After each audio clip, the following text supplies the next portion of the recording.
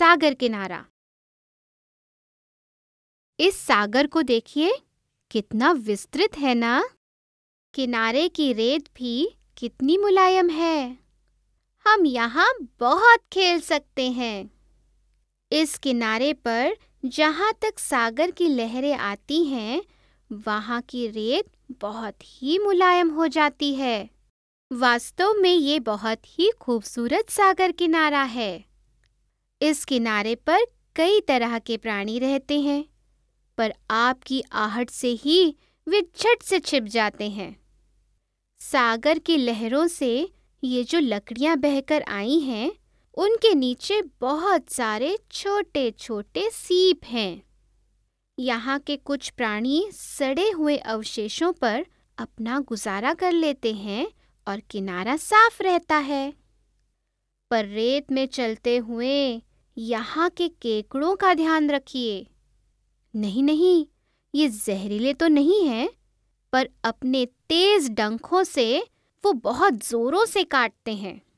रेत में दिखने वाले छोटे छेदों से वे कई बार सांस लेने के लिए सतह पर आते हैं, पर उनमें से कई प्राणियों को किनारे के पंछी चट कर जाते हैं। क्या आपको पता है कि ये जो सीप आप देख रहे हैं, उसमें मासल प्राणी रहते हैं।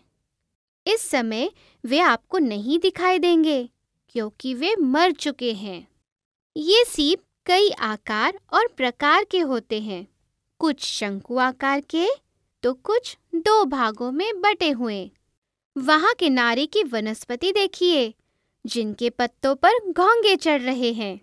यहाँ के वनस्पति जीवन ने भी अपने आप को नमकीन वातावरण से अनुकूलित कर लिया है। धूप में वे घोंगे, पत्तों को चिपके रहते हैं। बगीचे के घोंगों की तरह उन्हें तेज धूप से सूखने का डर नहीं है। वहाँ कुछ समुद्री पक्षी उड़ रहे हैं। शायद मछलियों की खोज में हैं। अरे, वहाँ देखिए, जेलीफिश। नहीं नहीं। उसे हाथ मत लगाइए। उनके तंतु जहरीले होते हैं। उनसे आपकी त्वचा को पीड़ा हो सकती है। कितनी ठंडी हवा चल रही है ना? पर इस समय वो जरा धीमी गति से बह रही है। इस जगह से मुझे सागर का निरीक्षण करना बहुत अच्छा लग रहा है। यहाँ किनारे पर नारियल के पेड़ भी हैं। सागर किनारे से सूर्योदय या सूर्यास्त देखना बहुत ही मनोरंजक होता है और रोमांचक भी होता है। पर ये दोनों आप एक ही किनारे से नहीं देख सकते।